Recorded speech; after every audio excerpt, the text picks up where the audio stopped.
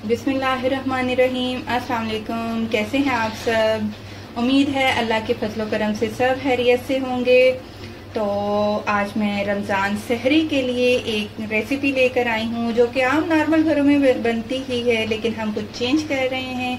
हम आज बना रहे हैं अंडे आलू की भुजिया, जो कि सहरी के लिए एक बहुत ही बेस्ट रेसिपी है। तो इसको बनाने के लिए हमें जिन जिन चीज़ों की ज़रूरत है हमारे पास है प्याज। हमने दो अदद बड़े साइज़ के प्याज लेकर उनको बारीक बारीक काट लिया है।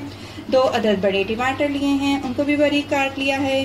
दो हरी मिर्चें हैं। अच्छा यहाँ पर मैं ज़्यादा तीखी वाली मिर्ची इस्तेमाल नहीं करती हूँ। मोटी वाली मिर्च होती है तो वो ज़्यादा तीखी नहीं होती है। इसके अलावा हमारे पास नमक है वन टी लाल मिर्च पाउडर है one tea half teaspoon हमारे पास हल्दी पाउडर है।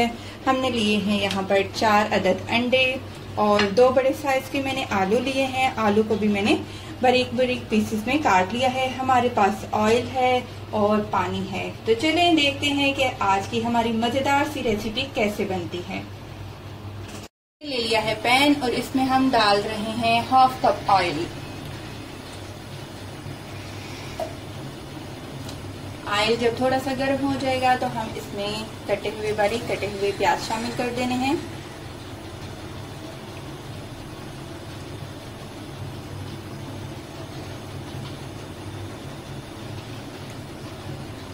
अब इसको हम थोड़ी देर के लिए सॉफ्ट करेंगे। हमने इसको ब्राउन नहीं करना, हमने इसको सिर्फ़ सौते करना है।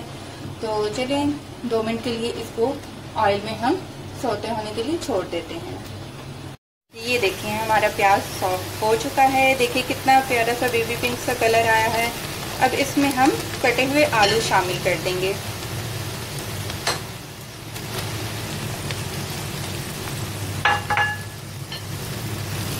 आलू हम प्याज के साथ ही डाल देंगे ताकि प्याज भी हल्का सा फ्राई होता रहे और आलू भी हमारे साथ साथ फ्राई होते रहें। इससे क्या होगा कि हमारे आलू तकरीबन तकरीबन प्याज के साथ ही गल जाएँगे। तो चलें प्याज को और आलू को थोड़ी पाँच मिनट का रेस्ट देते हैं ताकि ये थोड़े से फ्राई हो जाएँ। हम्म, ये देखें हमारे प्याज भी बहुत ज़्यादा डार्क ब्राउन नहीं हुए हैं अभी भी पिंक पिंक हैं और हमारे आलू भी तकरीबन आधे से गल चुके हैं। और ये देखिए कितनी आसानी के साथ ये टूट रहे हैं और इसके साथ अब हम शामिल कर देंगे टमाटर और हरी मिर्चें। और साथ ही हम मसाले शामिल कर देंगे इसमें। और इनको कर देंगे अच्छी तरह से मिक्स।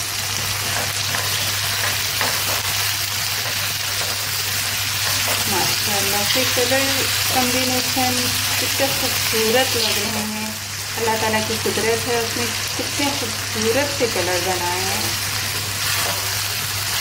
अच्छा जी अब हमने इनको कर दिया है मिक्स अब इसको भी हम पाँच मिनट के लिए ढक देंगे, ताकि जो हमारे आलू रह गए थे थोड़े से कच्चे, वो अब इन टमाटर के पानी से ही अच्छे तरीके से गल जाएँगे।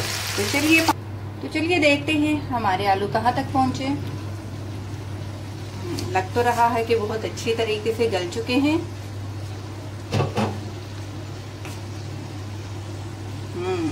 बिल्कुल चम्मच लगाने से ही वो बिल्कुल टूट रहे हैं। अब यही स्टेज है कि हम यहाँ पर अंडे शामिल कर देंगे। ये हमारे पास चार अदर फेंटे हुए अंडे थे। आज को हम थोड़ा सा मीडियम टू हाई पे कर लेंगे और साथ साथ इनको मिक्स करते रहेंगे। ताकि जो हमारे अंडे हैं वो अच्छी तरीके से पक जाएँ।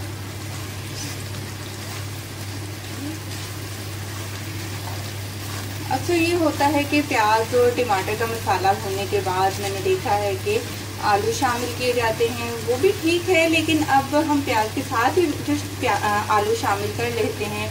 उससे ये होता है कि हमारे टाइम की थोड़ी सी बचत हो जाती है और ये है कि आलू प्याज के साथ ही हमारे गल जाते हैं।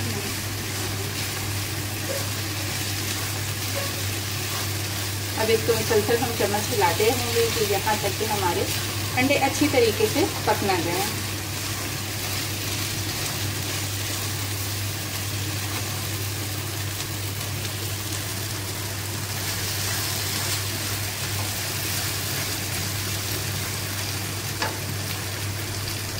हमारे अंडे भी अच्छे तरीके से पक चुके हैं। अब इसको हम दो मिनट के लिए धनिया डालकर रख देंगे। ये लीजिए हमने डाला ऊपर थोड़ा सा धनिया। अब हमारी मज़ेदार सी आलू भुजिया की सब्ज़ी बनकर तैयार है। अगर आपको हमारी आज की रेसिपी अच्छी लगती लगी है तो प्लीज़ हमें कमेंट्स में लाजमी बताया करिए कि आपको हमारी रेसिपीज़ कैसी लगती हैं। अगर अच्छी लगी है तो प्लीज़ लाइक ज़रूर करिएगा अपनी फैमिली और फ्रेंड के साथ प्लीज़ ज़रूर शेयर करिएगा। और हमारे चैनल को भी सब्सक्राइब करिएगा। दुआ में याद रखें, खुश रहें। अल्लाह हाफिज़।